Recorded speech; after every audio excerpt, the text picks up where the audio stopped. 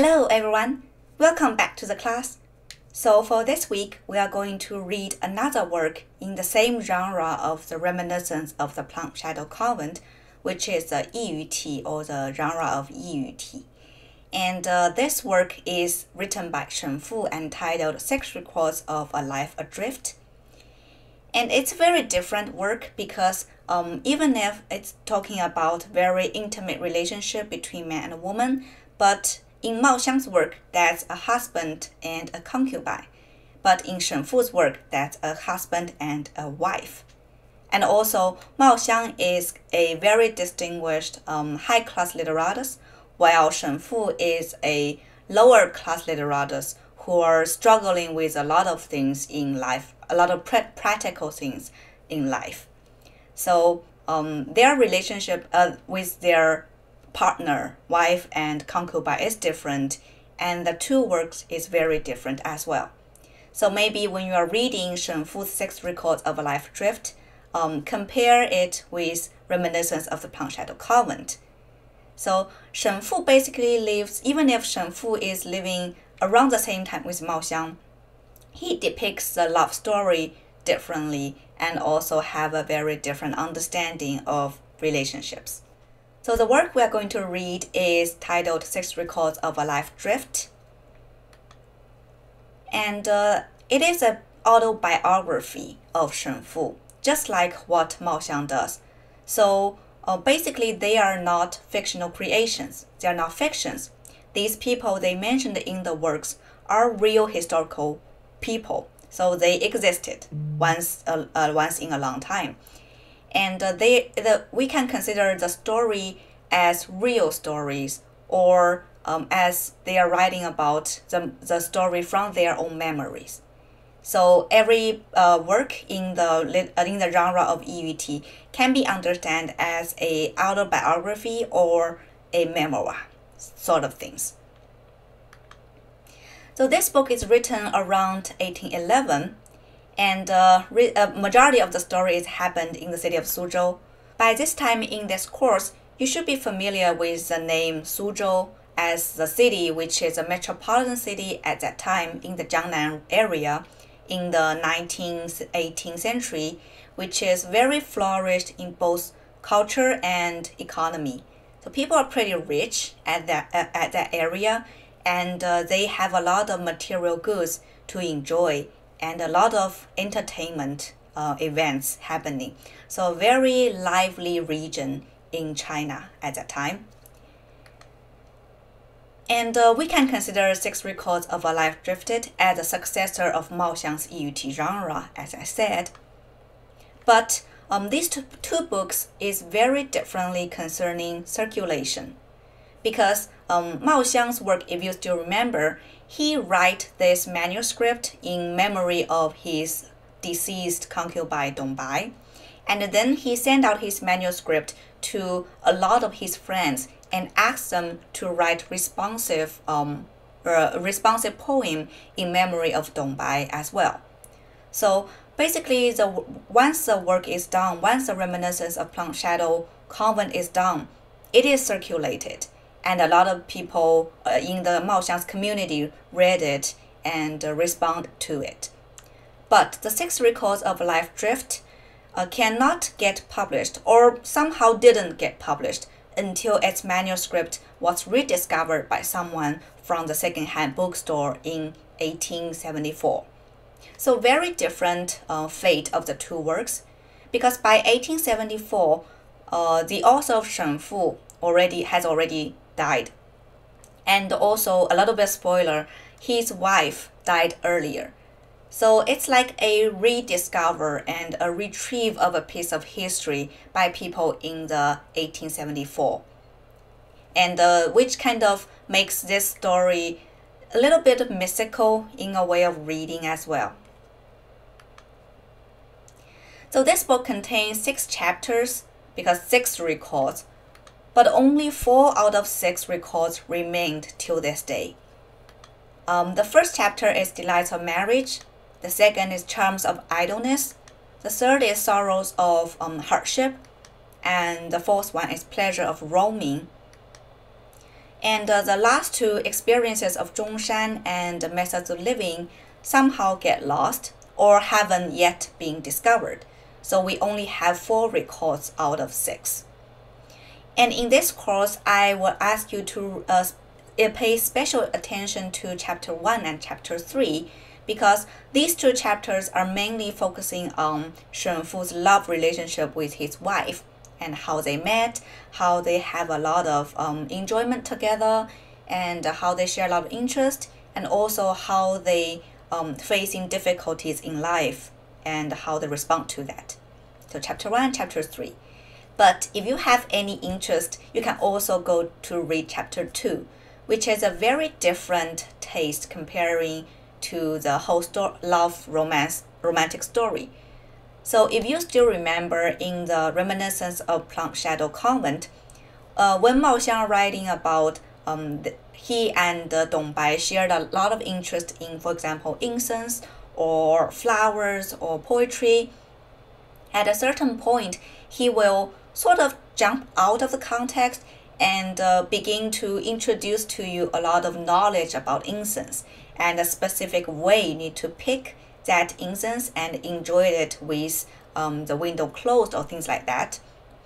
And uh, this chapter, Charms of Idleness, is Shen Fu's take on those elaboration of knowledge.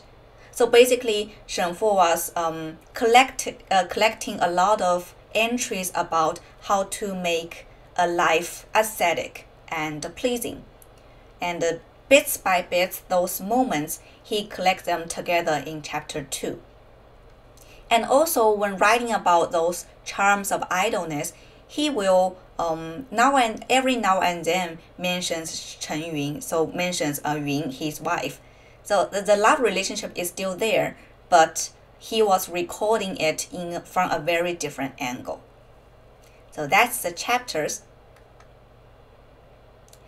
And uh, um, so now let's take a look at Shen Fu who lived from 1763 to 1832. So one thing you need to pay attention to is that basically Shen Fu represent a new identity of literati, which is very different than Mao Xiang, as I said in the uh, introduction.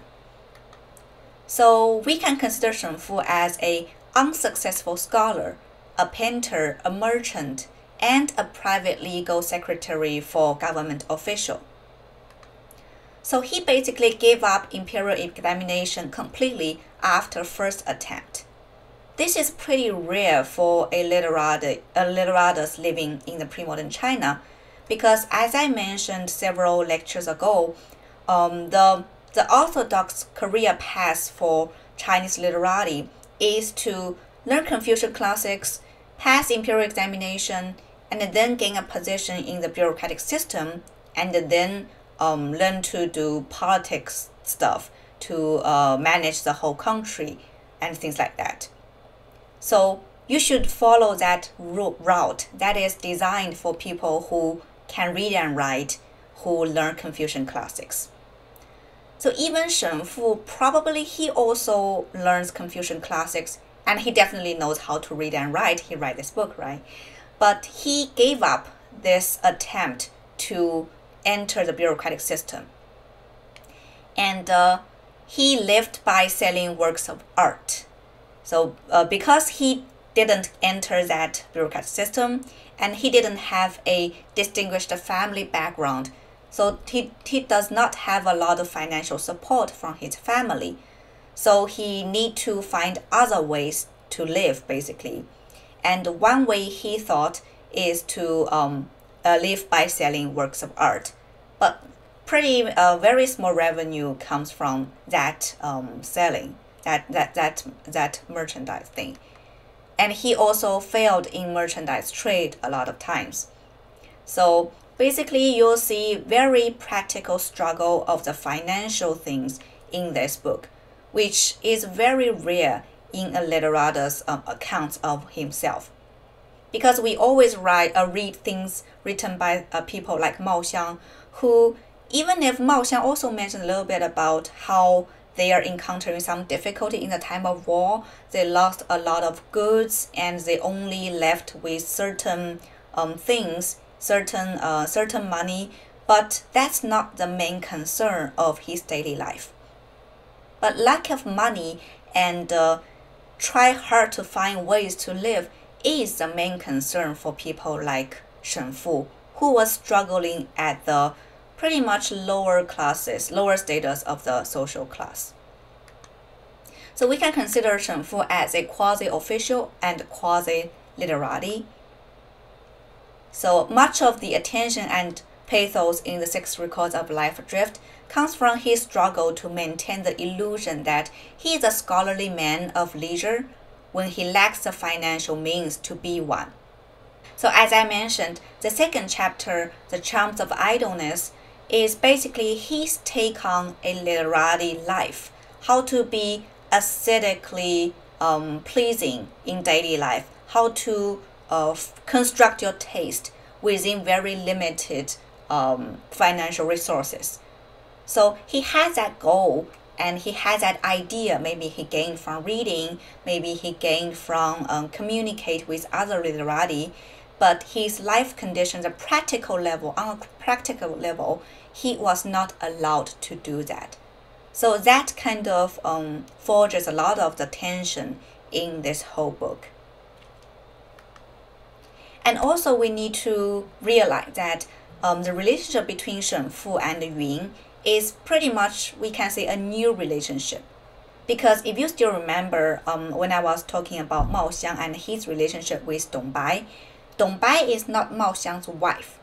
She is Mao Xiang's concubine and uh, he took on she took on the the role the family role of share their interest and do intellectual communication and all these um, very um, ideological things with uh, Mao Xiang.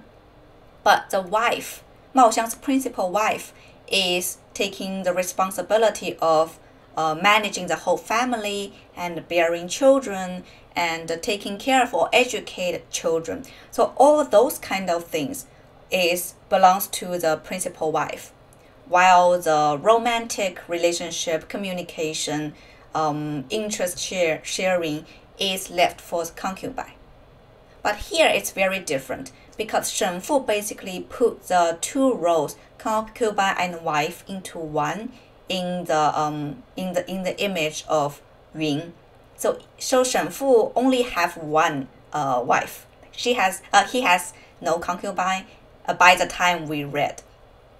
And he shares everything with his wife. So their marriage is based on mutual attraction rather than familial dictates. Very different, very special for a pre-modern Chinese marriage. And also, he depicts a lot of detailed sensual descriptions between husband and wife in this book. That's what makes this book very different. Even if we saw also a lot of sensual descriptions uh, uh, between Mao Xiang and Dong Bai in the Reminiscence of the Plum Shadow Convent, but that book is depicting the relationship between husband and concubine. That is allowed in the literary tradition. So you can depict your concubine's body and you can enjoy her beauty and uh, you can have intimate encounters with your concubine, but not your wife. So Shen Fu is kind of breaks the rules and establish a new relationship with a principal wife. So this quote kind of um, illustrate detailedly how their relationship goes. Um, this is the first time after their marriage, Shen Fu travels far away, and when he come back, um, he said that on the boat home, every quarter hour seemed a year. When I finally, uh, when I finally arrived at our house, I paid my respects to my mother and then made my way straight to our room. Yun rose to meet, and we clasped hands, barely able to speak a word as our soul suddenly seems to dissolve and flow together like mists and clouds, leaving nothing but a clear ringing sound in my ears and the feeling that I had left my body. So, very romantic description of that specific moment when they met again. We barely see such description of a moment, a very intimate moment between husband and wife in the long literary tradition between husband and wife. So that's kind of um, demonstrate to us how special relationship between Shen Fu and Yun. And also another thing to pay attention to is the um, the mechanism of memory, which basically brings past and current together. If we took this story, the whole book, as Shen Fu's memory about his relationship with Yun, we'll see the current situation every now and then pretty often peeking through the memory about the past. So when Shen Fu was describing something in the past, the future him or the him in the current situation will go back to comment on that um, past situation. So, for example, when they are doing this kind of writing, and he will say that um, I playfully inscribed her notebook with the title Brocade Pouch of Fine Verse. Little did I know at the time that the concealed, uh, this concealed an omen of her life being shortcut. And later, when they are enjoying something, he will said, um, "It is truly a case of disaster arriving as a height of the delights, as well as an omen that we were not destined to grow old and white hair together." And finally, when they uh, when he was talking about some painting they once enjoyed together, he ends up this description of, um, can two people who were so madly in love really request that the gods judge in their favor again? So basically, um, even if he was writing the story chronologically from the beginning to the end, he himself spoiled the story at the very beginning. So we already know something bad is going to happen. Maybe Yun died. We know that from the very beginning. That kind of uh, makes a story a very different from a traditional or conventional um, story that was told chronologically. And uh, um, besides the writing style, I think it also um, hinted kind so some sort of mechanism of memory. When you remember something, this current you will have the urge to comment it on that. So that kind of idea. And I think this is very interesting and uh, kind of alluded to us Shen Fu's overall idea about love and relationship. So let's have a discussion on Thursday about this specific um, mechanism of the encounter between past and current. And one more thing I want to mention is the contrast between big and small. So um, in the in chapter two, which I um, in which you can read by yourself, um, Shen Fu mentions a lot about his obsession with something small and a limited space. So, for example, he said a lot about his childhood memory when he was trapped in a very limited space, and he will took something as little as a mosquito as uh, imagine it to be big birds like crane and flying in smoke um, in cloud that kind of image. So he was uh, he enjoyed a very good time playing with himself. And also thinking about when you are very little um, you, you your body is naturally very small and uh, everything to you is so big.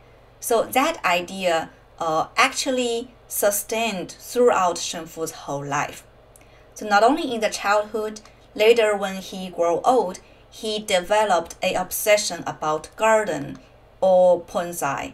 So all these things are a miniature kind of creation of the bigger space, and this is how Shen Fu enjoyed. And this kind of contrast is also also implies his overall idea about love, fate, or life. So what which part you can take control of, which part you just cannot, and is always pressing you and uh, crush on you and uh, forces you to make decisions. So talking about Penzai, he and uh, um, uh, Yun uh, once put a lot of effort to make the perfect bonsai and to taking care of that, enjoying looking at, at it. But one day uh, cats just run run through that bonsai and break it.